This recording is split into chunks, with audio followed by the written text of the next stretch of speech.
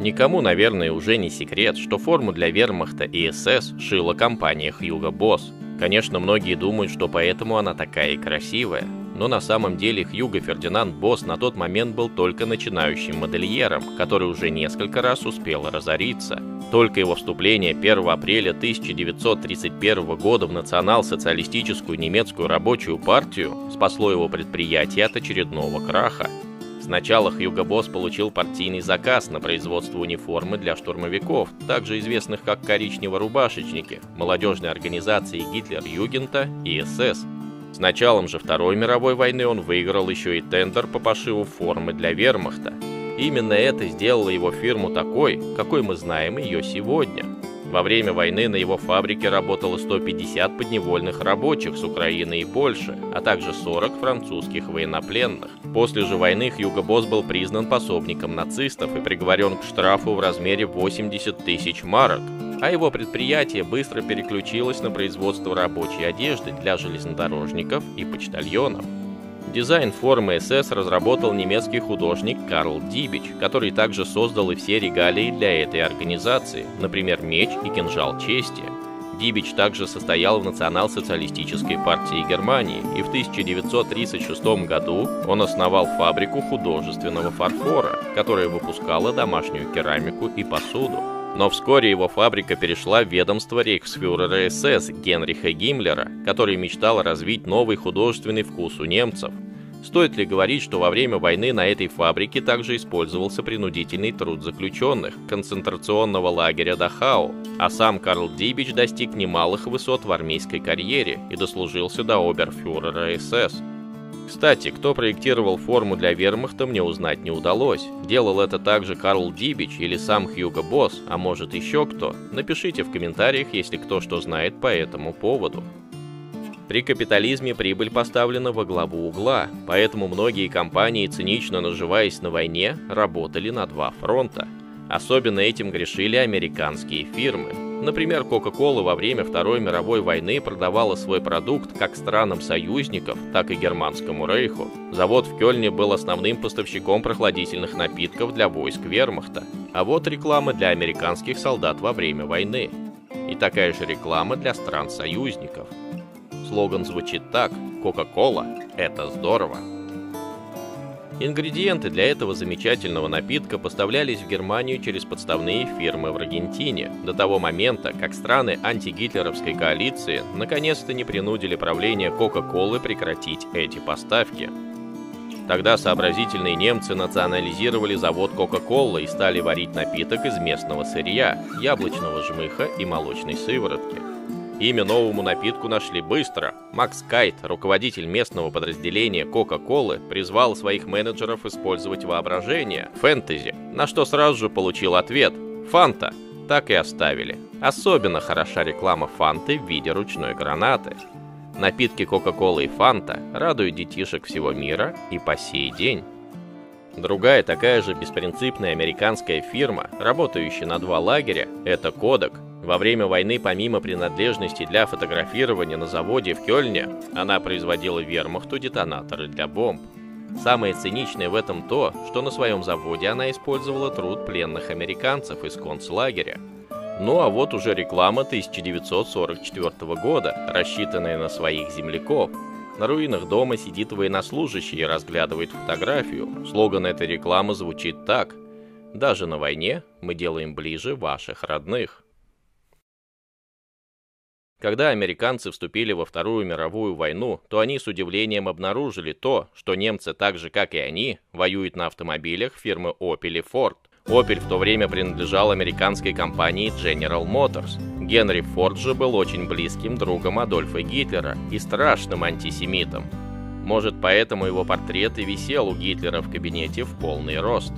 Форд, построив на территории Германии свои заводы, выпустил для Рейха 48 тысяч колесной и 12 тысяч гусеничной техники, что не мешало ему продавать свои автомобили и союзникам. Ничего личного, это только бизнес. Замечательные концентрированные продукты делала для вермахта фирма «Магия», благодаря чему сухой паек немецкого солдата вызывал зависть не только у красноармейцев, но и даже у солдат-союзников – а домохозяйки России познакомились с продукцией этой фирмы в 1996 году. Сейчас фирма Маги входит в портфель крупнейшей швейцарской транснациональной корпорации Nestle. Кстати, о Nestle. Эта фирма во время войны выпускала для танкистов вермахта панцер-шоколад. Знающие люди говорят, что туда добавлялись амфетамины, благодаря чему немецкие танкисты могли не спать до трех суток и вести бой. Наверное, врут. Только вот совсем недавно Nestle запачкалась в другом скандале. Несколько негров сбежали с ее кофейных плантаций в Африке и подали в суд.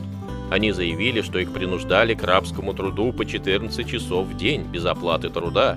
Среди этих рабов были и дети. Но зато шоколадки у них вкусные.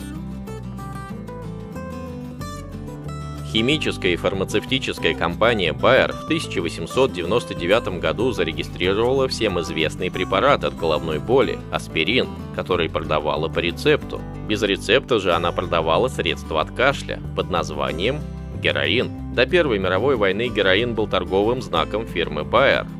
Но в рамках данного повествования интересна эта компания нам не этим. Годы Второй мировой войны эта фирма поставляла в немецкие концлагеря знаменитый газ на основе цианида, циклон-Б, с помощью которого травили людей в газовых камерах. Сильной национальной немецкой компанией, которая не запачкала свою биографию работой на две стороны, является BMW, ее автомобили в то время не сильно пользовались популярностью, но зато мотоциклы были высокого качества. Если вы видите на фотографии немцев на мотоциклах, то скорее всего они произведены не немцы, а мотоциклы. Хотя, может и немцы, на заводах BMW. Mercedes-Benz, которая в 1885 году начала выпуск первого серийного автомобиля с двигателем внутреннего сгорания, ко времени Второй мировой войны превратилась в огромный концерн, имеющий на территории Германии несколько заводов. Помимо грузовиков и легковых автомобилей для фронта, Mercedes производила большой легковой автомобиль с рамой из балок овального сечения и задней пружинной подвеской. Этот красавец служил средством передвижения для лидеров Третьего Рейха. Но мало кто знает, что этот концерн еще производил и двигатели для самолетов Люфтваффе. Вот, например, реклама этих моторов того времени. Кстати, до войны немецкие самолеты оснащались английскими двигателями Rolls-Royce, но что-то заставило немцев перейти на отечественную продукцию. Видать, грозный Черчилль умел вовремя угомонить жадность своих капиталистов.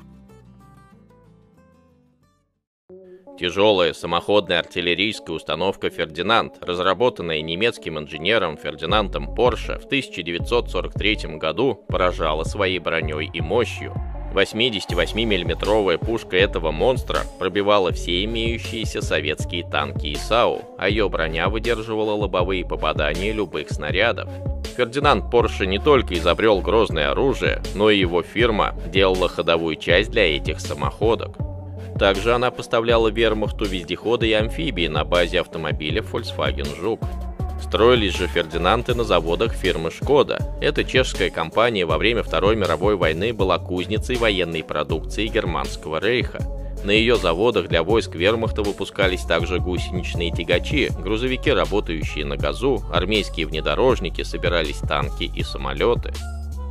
Благодаря тесным отношениям Адольфа Гитлера с владельцем фирмы Майбах Карлом Майбахом, его фирма заняла монопольное положение по производству всех двигателей для САУ и танков Третьего Рейха. За годы войны эта компания поставила для нужд вермахта более 140 тысяч двигателей, а слоган этой компании актуален и до сих пор. Майбах – автомобиль, который станет последним желанием вашей жизни. Если вы видите на улице большие грузовики фирмы МАН, то знайте, что во время войны их инженеры разработали знаменитый танк «Пантера», который стали выпускать на своем заводе. Компания Bosch, инструмент, который есть у каждого уважающего себя мужчины, делала электрогенераторы и всю электронику для немецких танков и самолетов. Bosch разработана для жизни. Ну и напоследок, замечательный немецкий концерн Siemens, который сейчас выпускает бытовую технику, телефоны и даже трамваи и поезда, в годы войны выпускал радиопеленгационные системы, а также оборудование связи, точную механику для ВМФ и армии и электрическое оборудование. В 1943 году завод фирмы Siemens начали поставлять первую в мире радарную систему с обзорным сканированием, которая находила летящий самолет на расстоянии от 150 до 300 километров. Отличалась эта компания еще и тем, что на ее заводах работало более 50 тысяч подневольных рабочих и заключенных концлагерей.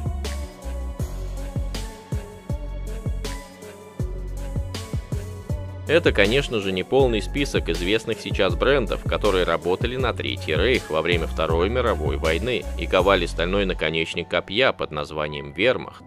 Напишите в комментариях, кто что думает по этому поводу, будет интересно почитать. До свидания.